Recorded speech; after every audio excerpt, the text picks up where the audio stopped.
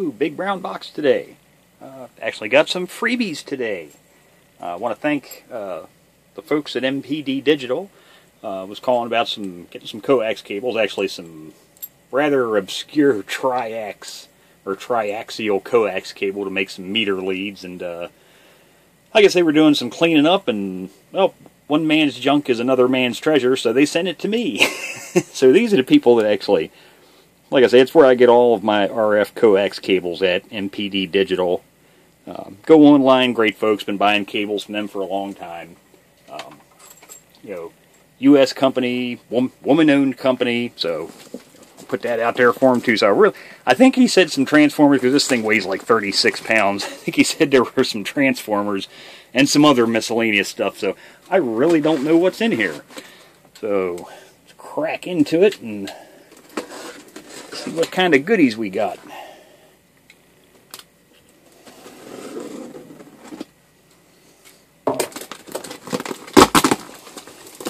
Oh man, cables, wire. Oh, Jesus, they must have really been doing some cleaning out. what we got here?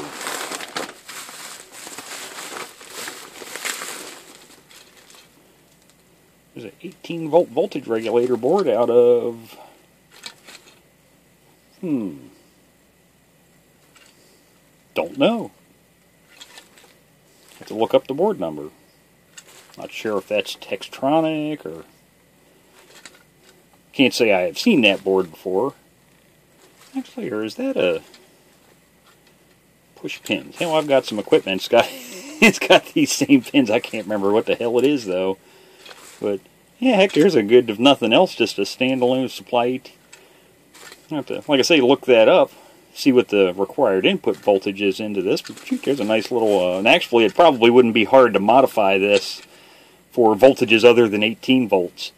Um, actually, this is negative, negative, negative, negative. It looks like it's probably it's horizontal, vertical, horizontal, vertical. So this is probably for a scope, but uh, yeah, it probably wouldn't be hard to repurpose this.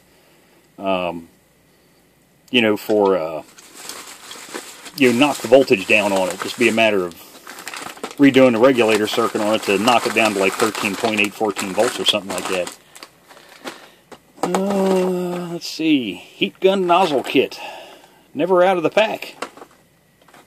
I actually have, I, got a heat gun they'll fit onto, so that's cool. Can use that. Caution: always connect to positive first. Little IDs. Double bananas. Never have enough of these. My God, I go through these things by the dozens sometimes. I mean, every every test lead I'm well, not not even te- not really test leads. Just all of my power cables for connecting to radios. Because when you work on ham radios, CB radios, uh, stereos, you work on all kinds of stuff. You end up just needing all kinds of coax cables. So all of my cables all of my power cables, I make up dedicated bench cords and then put the double banana jacks on them. So yeah, I can always use those. That's a big bonus. Oh, there's some nice old SMA hard cables. Came out of some kind of test instrument. They're nice to have because you can rebend those as long as they're long enough. A lot of you I've, I've reused a lot of times when I gut instruments. I always keep the hard cables because a lot of times I can reuse them in something else Uh, I don't sure I'm really going to have much of a use for a tiny chunk of cable that long, but mm, what do we got here? Five pin DIN extension cable. Always make use of that. There's a XLR plug, standard 3 pin XLR, and this is a phase reverser. Okay. There's some nice looking 15 feet. that was made specifically for something. I can find any markings on the cable. Looks like it's solid center conductor. Just looking at the cable there, it's not stranded. It's actually fairly flexible. I mean, it's you can see it's rigid, so it holds its you know it holds its shape but by the same token, it's actually fairly flexible, so that's a really pure copper core definitely no steel mixed in with that stuff. So, yeah, I've got an SMA on one end. I can actually what I'll probably do is is because I do use SMAs, I'll probably stick. I have to figure out exactly what cable this is, but then I can stick like a BNC on the other end or an SMA. But I, I probably have BNC cables that'll fit that. Phone plugs, never have enough of those. Oh my god. Work on old tube radios. That's the standard for speaker jacks on the old tube radios. There's an old uh, 12.6. I actually got a bunch of these exact ones in the package I cleaned up when one of the local Radio Shack stores closed their doors. But uh, a little 12.6 volt, 300 milliamp uh, transformer. So good for making little small power supplies. Uh, more double bananas, yellow. Uh, insulated wrapping wire. Huh. It looks like they cleaned out a Radio Shack too. uh, well, this is military. Uh, in, in case you're not familiar with the military, I was in the military. Dino, if you're watching this, I know you know what this is. But uh, it's easy to tell if something's military. This numbering system here. So you'll have four digits, a dash, usually either a zero zero or a zero one, then a dash, three digits, dash, and then four four digits. But yeah, obviously mil surplus of something. And MPD Digital does um, does deal with a lot of military uh, spec coax cables and whatnot. Let's actually see what the heck's in here. Oh, it looks like a. Is that a Pace? Holy shit, it is. Huh. They must have been watching my videos and they know I use Pace equipment. I just have to figure out which one this is for. I have to look the number up on here, but yeah, hell, because I have pretty much everything Pace has ever made from the really old equipment to the new, so yeah, hell. Well, actually, this is 120 volt. So actually, I will probably be getting rid of this. Um, buddy, if you're watching, I'm probably going to send this to you. I need to cross-reference it, but that Pace desoldering machine that I gave you, um, this, I believe, is the replacement heater for that. So I don't use those old machines anymore. So yeah, I'll cross-reference that over. But if it is, this will be headed your way. Get that back in the baggie. Uh, some kind of crimp ferrules, maybe? Ball, double shank stainless steel for 16th inch cable. okay, they're just balls for on 16th inch cable. Got me. Maybe little stops for a you know cable to something like that. The double RCA to single RCA adapter cable. Another transformer. Proto boards. Yeah, they definitely had to cleaned up at the Radio Shack, that's for sure. Now this one's not a Radio Shack. Actually, the bag's still sealed. 12 volts. Okay, that's a 12 volt transformer. Uh, looks latch assembly or a hinge. Catch, yep, so it's a latch. There's a catch for some type of military equipment. Of course, you can always reuse stuff like that on other things. Aha! Man, it even included some tape here. Say, this is rubber splicing tape. I actually use this. I have some here. It's great for when you're doing antennas, uh, outdoor work. Once you've made your coax connections, you know, you take your coax cable, of course, it would have an end on it. But once you attach that to your antenna, let's say, or whatever, a balun, uh, you want to waterproof that connector. This is the stuff to use here. And this is actually the same brand, same exact thing that I use. So, um, some of the stuff that I have is like two inches wide because you can get get the uh, the rubber splicing tape, but it's what I call a fusion tape. Uh, so actually, let's just crack that open and I'll show you what I mean. It actually sticks to itself and it will form. So we'll cut off a little piece here. I do use a lot of this stuff, so no harm in opening it up. It will get used. And you peel off this little backing. And then what you do is just stretch it out. And what you would do is, is wrap that around your coax connection, whatever connection you have, but it makes a very waterproof connection.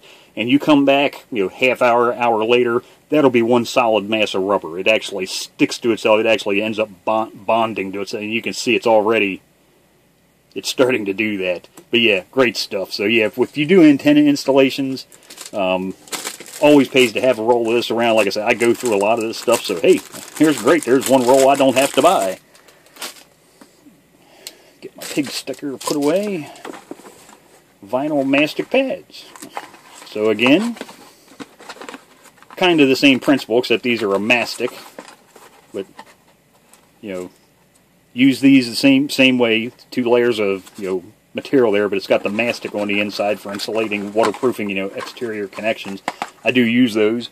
Not as often as I use the tape, but those are handy for really oddball shapes where you can't wrap something around it. Got another roll. Ah, tin copper braid. now, hold on. Here, turn around here. That's the exact same thing I use. Here's a roll that I actually use.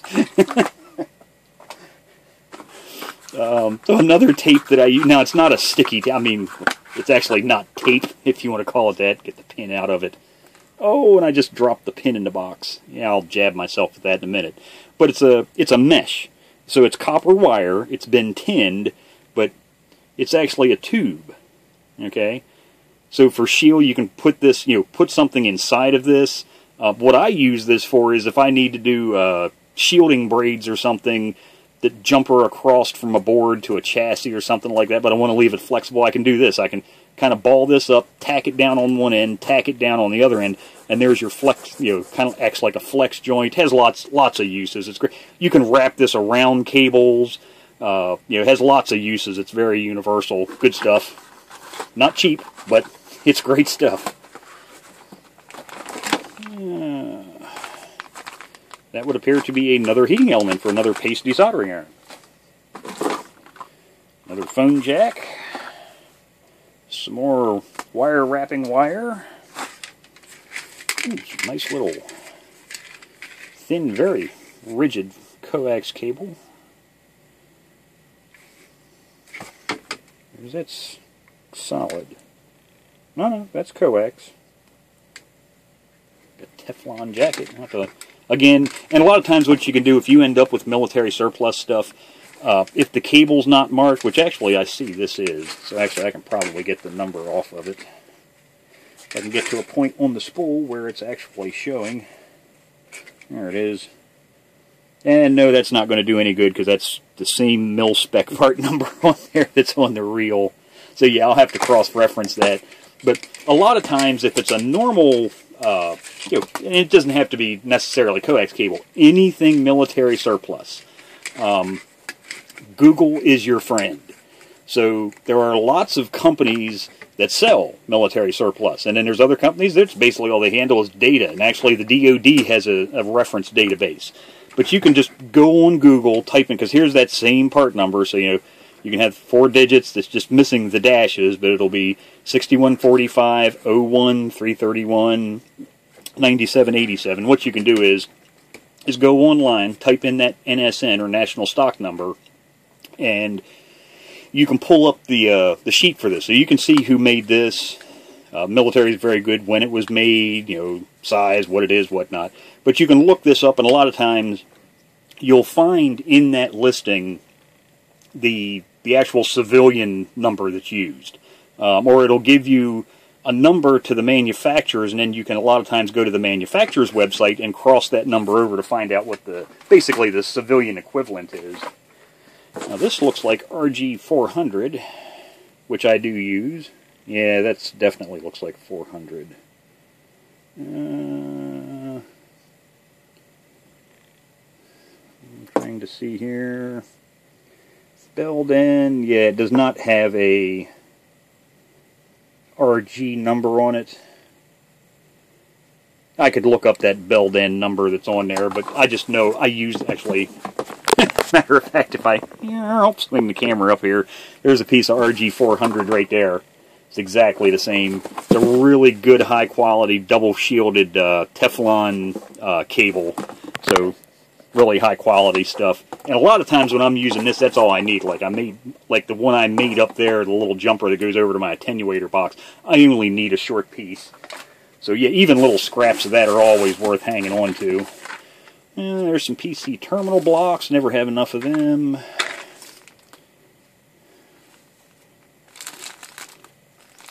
Those are, uh, they look like ball connectors. Yeah, I think that's what those probably are.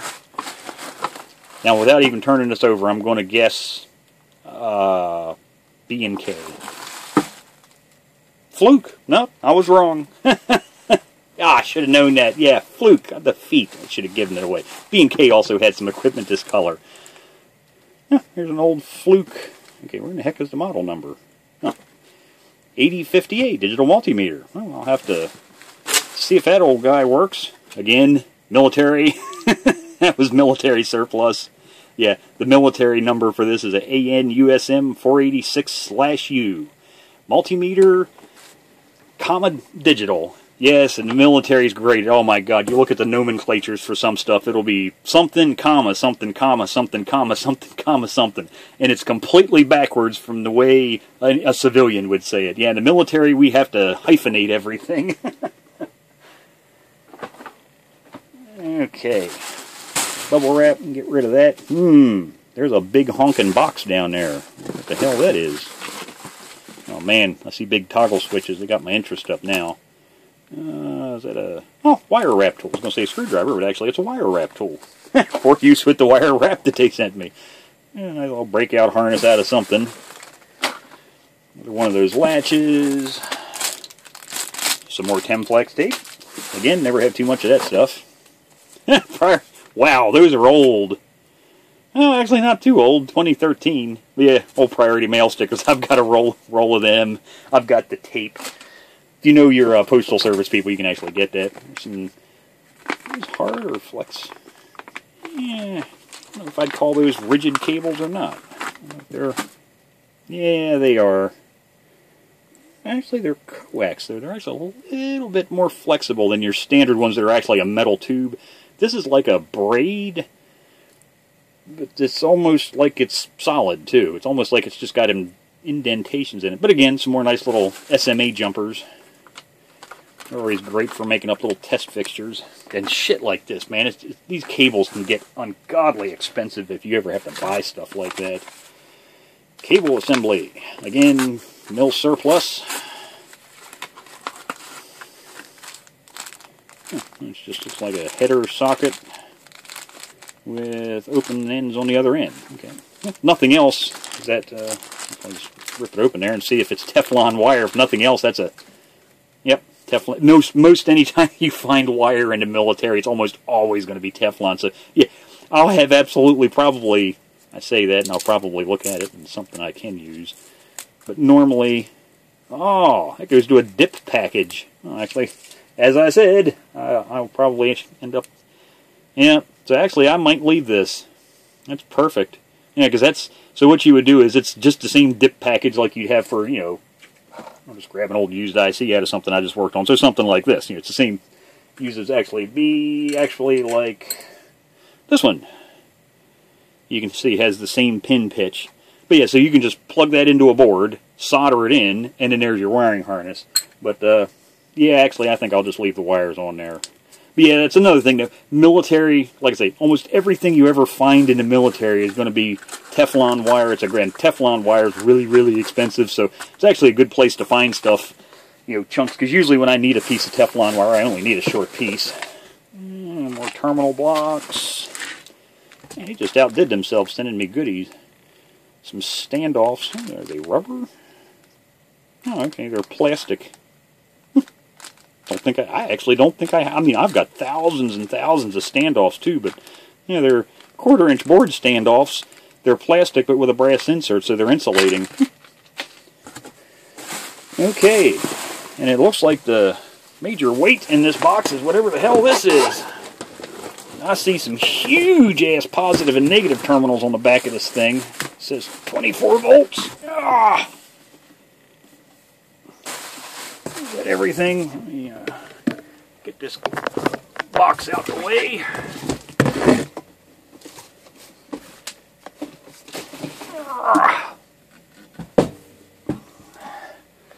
So, what the heck do we have here? So 24 volts in, I'm assuming.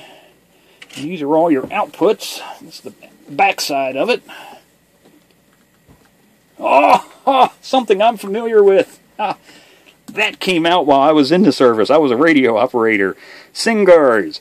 It was a secure FM frequency hopping radio system, and when it first came out, it was an absolute nightmare. but of course, the military, everything the military uses is 24 volt. Um, so actually, I wonder if this is just a distribution panel. An extremely high current, so 30, 60, 70, 100, 20, 30, so 130 amps if all of these were turned on. And there's a, I don't know if that's a main breaker. And then the out, you know, then just the outputs, stud terminals. Actually, let me uh, crack that open. That would actually be great. Big monster. Ah. Do this the fast way. I ain't gonna do this with a screwdriver. Will be. Kidding me? Yeah, it's the battery's about dead grab another battery. Bear with me a second. But, uh, really? You've got to be shitting me. This one's dead too? Oh, ha, ha, ha.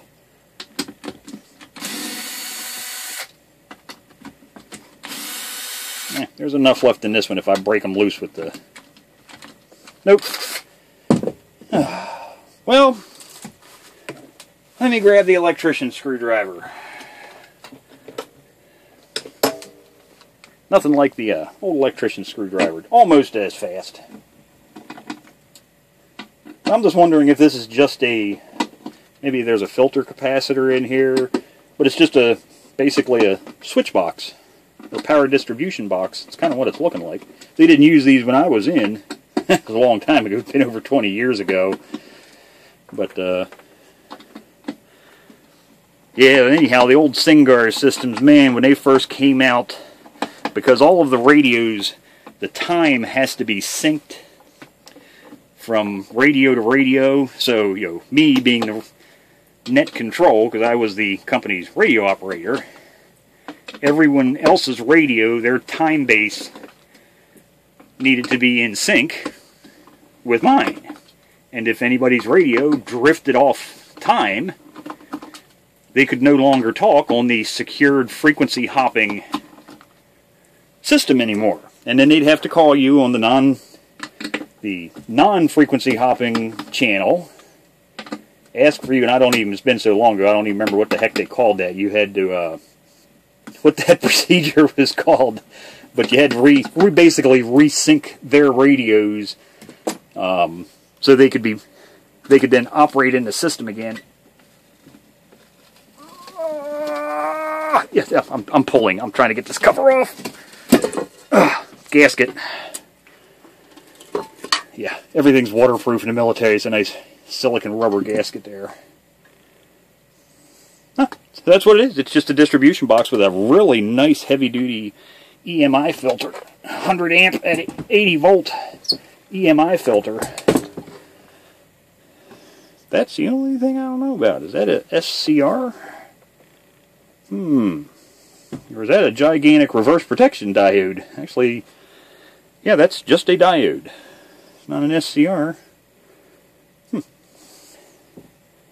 It's attached to negative, that's attached to positive. Yes, that's what that is, because there's the positive. So the positives are attached to the negative terminal of the diode. So, yeah, that is a... now, that, that's a reverse protection diode there. That thing's bigger.